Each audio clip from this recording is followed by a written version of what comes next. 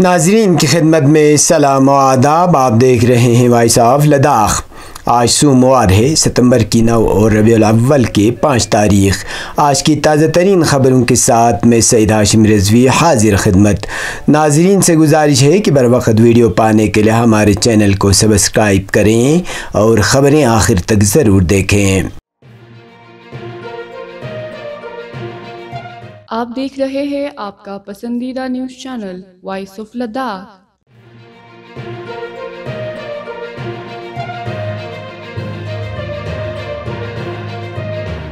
महकमे social welfare Ladakh के anganwadi workers और हेल्पर्स ने आज लेह और करगिल इजला में एहतजाज किए, जिसमें कसीर तादाद में आंगनवाड़ी वर्करों और हेल्परों ने शिरकत की। तफसीत के मुताबिक यूटी लद्दाख में आंगनवाड़ी वर्कर्स और हेल्पर्स ने एक बार फिर अपना एहतजाज दर्ज करते हुए सुबह दस बजे से चार बजे तक धरने पर बैठे। इस दौरान वो अपने माहाना मुशायरा में इजाफे और स्टेट शेयर को वागुजार करने की मांग कर रहे थे। इधर ज़िला करगिल में सैकड़ों वर्कर्स और हेल्पर्स ने बुलबुल बाग में अपने मुतालबात को लेकर एहतजाजी धरना दिया, जिस दौरान वो ज़िला इंतज़ामिया और यूटी इंतज़ामिया से इनके मुतालबात को पूरा करने पर ज़ोर दे रहे थे। दूसरी जानब लेह से मौसला खबरों के मुताबिक कसर तादाद में आंगनबाड़ी वर्कर्स और हेल्पर्स ने अपने मांगों को लेकर धरना दिया और यूटी इंतज़ामिया से इनके मसाइल को फौरी तौर हल करने पर ज़ोर दिया। एहतजाज में शामिल आंगनबाड़ी वर्कर्स और हेल्पर्स स्टेट शेयर और यूटी शेयर में इजाफे की मांग कर रहे थे। याद रहे इससे कबल भी कई बार आंगनवाड़ी वर्कर्स और हेल्पर्स अपने मांगों को लेकर एहतजाज किए हैं। ताहम बकौल आंगनवाड़ी वर्कर्स इनके मांगों की यूटी इंतज़ामिया ने अनसुनी की है।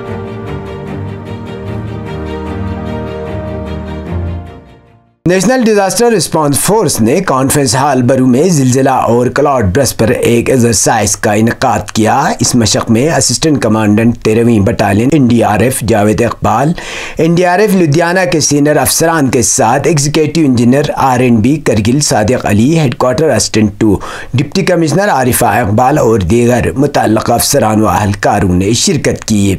असिस्टेंट कमांडेंट ने एन डी आर एफ़ के कामकाज और जिम्मेदारियों के बारे में तफसील से जानकारी फराहम की, जो किसी भी वाक़ या आफत से मौसर तरीके से निपटने के लिए ज़रूरी होता है। इस मशक का मकसद मकामी कम्यूनिटीज़ और इदारों को हंगामी हालात से निपटने के लिए तैयार करने में एक कलीदी पहल के तौर पर लोगों को बाखबर करना था।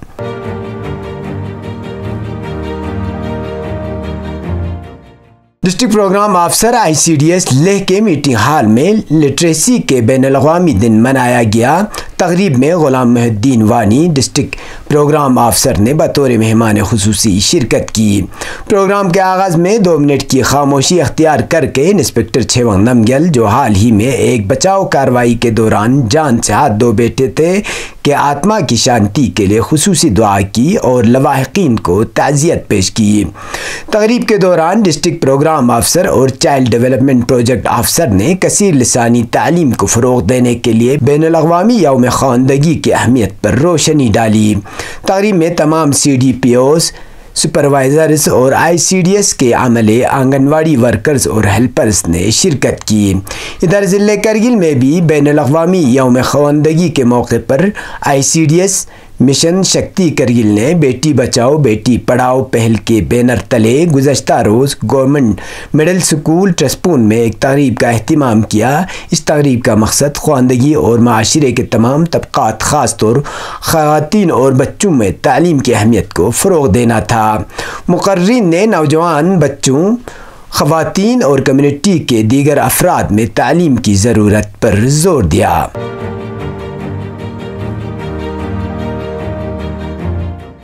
पाँचवें आलमी खाना बदोश गेम्स का मुकाबला गुजशत रोज़ कज़ाकिस्तान में शुरू हुआ जो 15 सितंबर तक जारी रहेंगे इस टूर्नामेंट में लद्दाख की रिवायती तीरंदाजी टीम मुल्क की नुमाइंदगी करते हुए दुनिया की बेहतरीन टीमों के साथ मुकाबला करेगी इस साल के खेलों में बयानवे ममालिक के चार हज़ार एथलीट्स मुख्तलिफ़ शोबों में हिस्सा ले रहे हैं रिवायती खेल तीरंदाजी में एक सौ बीस खिलाड़ी तीन अलग अलग फासलों सत्तर मीटर सठ मीटर और तीस मीटर पर अपनी महारत का मुजाहरा करेगी। इब्तदाई तकरीब में खेलों के वर्षे और सकाफती अहमियत का जश्न देखने को मिला। हिंदुस्तानी टीम अपनी महारत का मुजाहरा करने और आलमी खाना बदोश खेलों में बेहतर मुकाम हासिल करने के लिए पुरज़म है। अब पेशे कौमी और बैन अवी ख़बरें।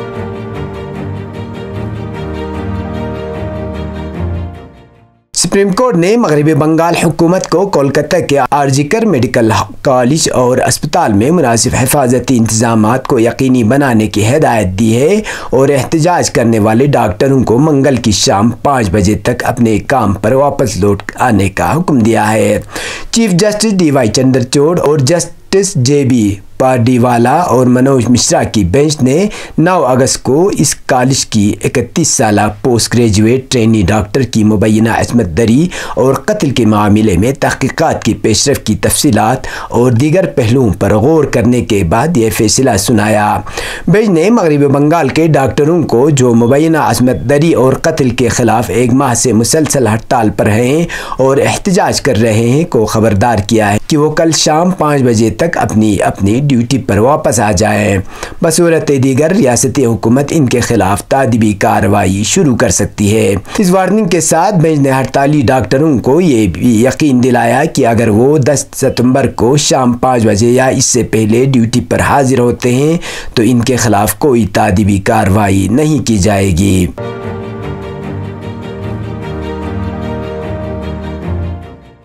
शाम की सरकारी खबर रसा, एजेंसी साना ने कौमी अस्पताल के ज़राए के हवाले से बताया है कि गुजशत रात सियोनी दहशत गर्दों के हमलों में अब तक तैंतालीस शहरी शहीद हो चुके हैं।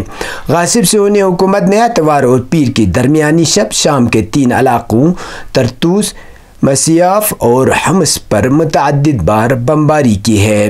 अबरानी मीडिया ने मजकूरा हमलों को गैर मामूली और हालिया चंद बरसों के शदीद तरीन हमले करार दिया है। इतलात हैं कि सोनी दुश्मन ने शाम की तारीखी शहर मसीाफ के मजाफात में वाक़ एक साइंसी तहक़ाती मरकज़ को कई मरहलों में निशाना बनाया है।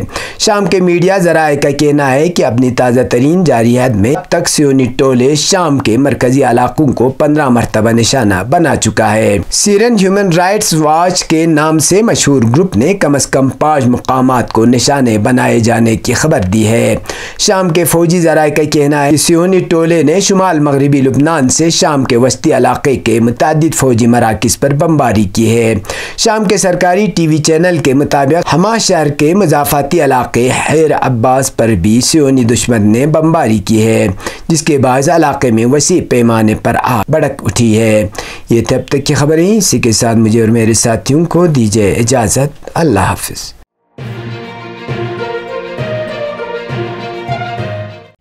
मकामी कौमी और बैन अवी ख़बरों से बाखबर रहने के लिए चैनल को लाइक शेयर और सब्सक्राइब करें। साथ ही बेल आइकन दबाना न भूलें।